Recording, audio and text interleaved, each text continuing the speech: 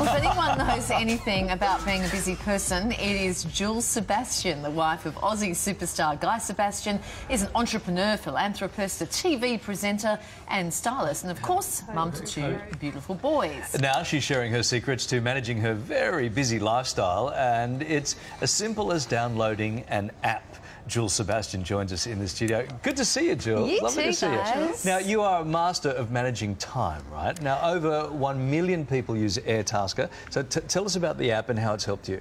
Airtasker is so great. It- we're all busy, we're all trying to do a million things at once. This is the answer to a lot of problems. And reaching out for help. So anything that you you you've your time poor on. So Yeah. and and things that you don't have the actual skills to do, like. We put uh, we hired someone from Airtasker to put our IKEA wardrobe together because I mean, not saying that guy couldn't do it. Of course he could. No, no, you can say the guy. You can say the guy couldn't very do that. busy, and I wouldn't be able to do that. So it's like a skill set that I just don't possess Yeah. or have the time And for. some people So- can do it real quick, Yeah, yeah. some people can do it really quick, and it also works in the other way where people can jump on with those skills and get paid for right. those tasks. Okay, so as if you have a need, you head to the app, you put you're looking for someone to assemble this, looking for someone to clean my floors. Yes. And then people see it and answer it. Yep. Uh, what was the unusual task that Guy put a call out for on Airtasker? This was an unusual one. So What he it? was he was filming a video clip for mm-hmm. one of his songs, and we had a house that we'd bought, and we were about to knock it down because we're building a house. Mm. So we we asked someone from Airtasker if they could come and paint the entire outside of the house black. So that he could film this this video, black and blue.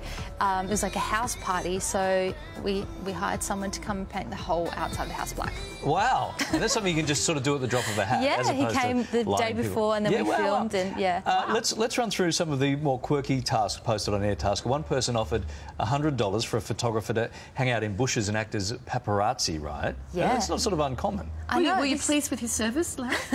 Uh, he didn't get the shots that I needed from you, Kylie. yeah, that actually happened. Someone, someone um, asked someone on Airtasker to come and take photos of guests arriving, arriving for their party. Yeah. You know that kind of so the guests Yeah, feel a bit yeah. special when they walk in the door like they're a celebrity. Oh, okay. So a bit of a touch of red carpet. Okay. Uh, that's not the only way you can earn uh, big bucks too. You can eat your way to wealth. Yes, okay. What's so this th- this was actually put on by Airtasker, and it was a result of the staff at Airtasker talking about how, um, you know, wh- wh- what were the best burgers in Sydney, or what was the best chicken in Sydney. So they they asked someone to go around and do reviews of the best burgers and the best chicken in Sydney, paid them some money to go and eat food all day, and come back with the results. So that person's getting what they want, and someone's getting paid to eat chicken all day. Exactly. So it's, uh, it's win-win. One person felt the urge to dress up like a giant toy, and Airtasker came to the rescue to help them look like a, a, a human Barbie doll, right? Yes, so it was a dress-up party. This guy was going to a dress-up party, and he didn't have the time to think of the, uh, to make this costume, all the skills.